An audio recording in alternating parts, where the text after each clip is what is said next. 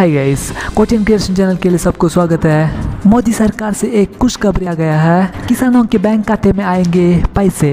कितना पैसा आएगा? पैसा आने के लिए क्या क्या करना पड़ेगा? पैसा आएगा तो चेक कैसे करना? फुल डिटेल्स इस वीडियो में आज मैं बता देता हूँ। उसके पहले, अगर आप इस चैनल को नया हो तो प्लीज़ सब्सक्राइब कर दीजिए। सरकार ने दी खुशखबरी। खाते में आएँगे इतने रुपए।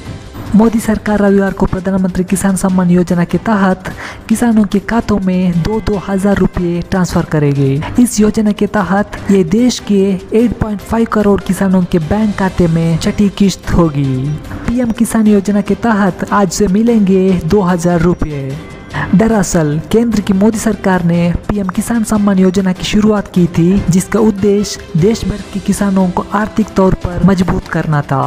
इसी योजना के तहत कुल 8.5 करोड़ किसानों को 17,000 करोड़ रुपए मिल रहे हैं। अब तक पाँच किस्त किसानों के खातों में बेच जा चुकी है। वही छठी किस्त का पैसा एक अगस्त से भेजा जाना था लेकिन इसे एक साथ भिजवाने का प्लान बना गया। ऐसे जाने पैसे खाते में आए या नहीं किसानों के खाते में योजना के तहत पैसे पहुँचे या नहीं ये जानने के लिए बैलेंस चेक कर ले। वेबसाइट pmkisan.gov.in के ज़रिए बैलेंस चेक किया जा सकता है। वही मोबाइल ऐप की मदद से खातों में आने वाले पैसों को लेकर खुद को अपडेट कर सकते हैं। बैलेंस चेक करने के लिए गूगल प्ले स्टोर से ऐप डाउनलोड कर सकते हैं। क्या है पीएम किसान सम्मान योजना?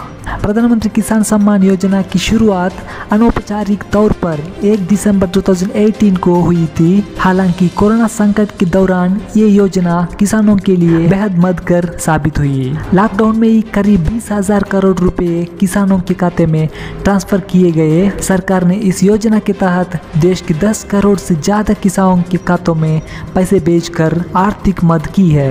करीब 75,000 करोड़ रुपए की सीधी सहायता दी जा चुकी है। सरकार का नया नया योजना इस चैनल में डालता रहता हूँ।